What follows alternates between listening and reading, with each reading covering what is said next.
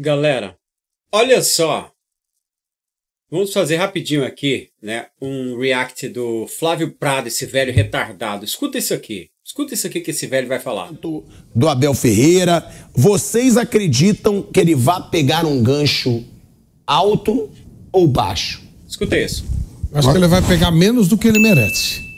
O retardado. Pela vai pressão ser- do ser Palmeiras um- ou pela Não, forma não, que a não, aí eu já não sei. Eu não confio no tribunal. Eu acho que o tribunal ele, ele é um tribunal. Eu acho dois jogos. Eu acho que ele vai pegar dois jogos. Então, ele, eu acho um tribunal bem político, né?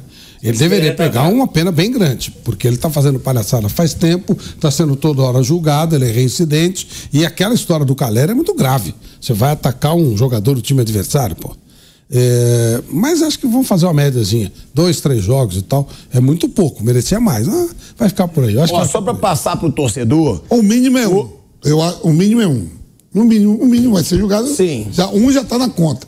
Eu acho que vai dar mais um por aí. Um e um. Dois. É, aí um- É, ele já até cumpriu um outro dia que o João Martins foi lá, Ah. deu a famosa entrevista. Então, acho que vai ser dois jogos. Pra mim, não. O que pode acontecer é pesarem a mão em cima do João Martins e aliviar um pouquinho pro Abel.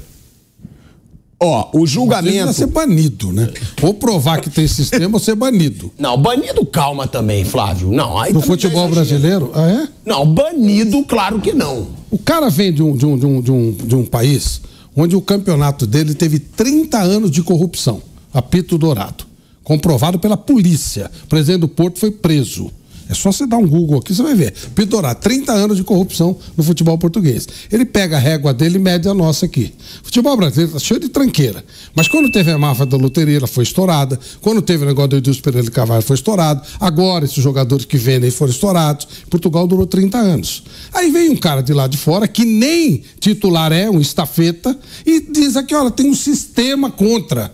Pô, quem é ele? O que, que ele pensa que ele é? Um cara Ah, Fábio, desse você não pode tem- banir um cara do, do futebol do brasileiro. futebol brasileiro pode. por uma declaração dele no sangue quente. Aí não. peraí. É, então- Não, não, banir não, mas assim, grave. perdão, você concorda? A torcida é Você concorda? Uma grave, declaração cara, não desse, é banir dele cara do no Premier League, torcida dá do Palmeiras- cara, não? A torcida do Palmeiras acredita piamente no que esse cara fala. A torcida do Palmeiras vai dizer o tempo inteiro. Ela não vai nem olhar que o Palmeiras não treinou, os caras foram viajar. Ela acha que tem Mas sistema. banir do futebol. Hoje, não, não, do, Brasil. Vai passear. Não, mas- Brasil não. Flávio. Tira até o fim do ano. Ah, ah, ó, ó, você sabe Pô, onde é eu muito ando lá, grave, né? meu. Ô, ô, ô, Flávio. ô, ô, Pilates, você mais ou menos chega aqui e diz assim: olha, o pessoal da Jovem Pan, todo, tudo corrupto. Eu vou parar por aqui porque é o seguinte. Aí ele começa com os exemplos dele, né? Ele começa aí com os exemplos deles. Louco, maluco, igual ele mesmo. Ô Flávio Prado, primeiro que você pediu o banimento do Abel Ferreira e dizendo que o Abel Ferreira falou que o futebol do Brasil é não sei o quê e comparou lá com 30 anos de corrupção deles, que não foi o Abel Ferreira que falou isso. Quem falou isso foi o João Martins. O, você confundiu as coisas, velho. Você tá gagá. Você é maluco. Você tá ficando pinel da cabeça, velho. Você tá maluco. Você tem que dar o lugar na bancada para um jovem que tem aptidão pelo jornalismo, que tem aptidão pela coisa certa. Esse seu ato de vingança, de, de cumprir a sua justiça, Flávio Prado, é nojento. É imundo. Parece com você mesmo essa atitude. Não parece com ninguém mais. Parece com você. Flávio Prado, você é um velho gagá. Está ficando pinel da cabeça. Você falar que o Abel tem que ser banido do futebol brasileiro porque agrediu o Carelli, o Carelli, e porque falou que o futebol brasileiro tem um sistema.